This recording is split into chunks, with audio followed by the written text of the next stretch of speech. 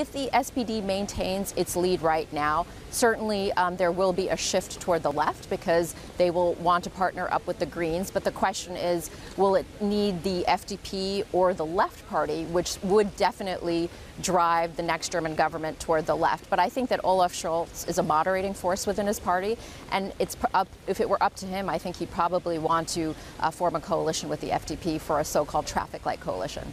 Yeah, if we um, think about the traffic light coalition, just to like the dominant scenario, um, what would it have as an impact on transatlantic relations in your view?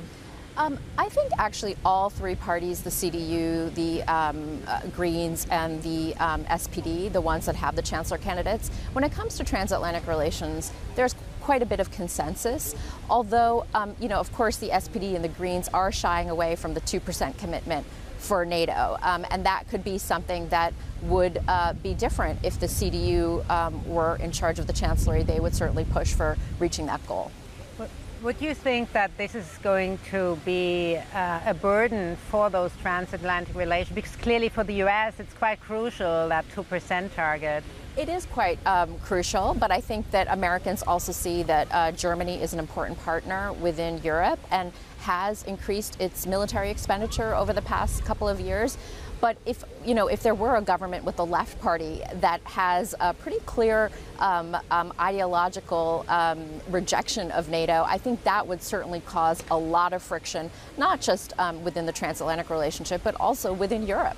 Yeah, talking about Europe, so would you think that a new German government would actually be more pro-European, perhaps moving more into European integration, embracing that capital market union concept, etc.?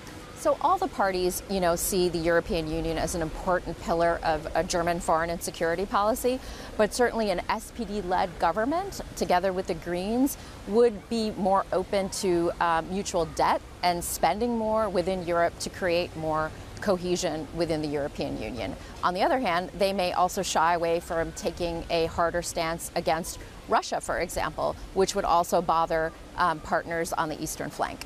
Would you say that right now, when it comes to international relations, Europe has made has to make its mind up whether it wants to be very business friendly with China or has good relations with the U.S.?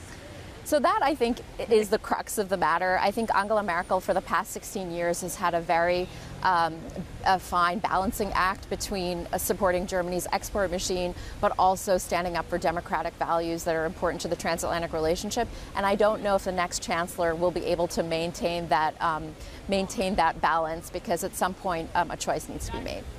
Would you say, or would you think that Europe then will be rather tougher, or Germany tougher on China going forward? So I do think that German voters also see the negative effects with when it comes to relations with Russia and China.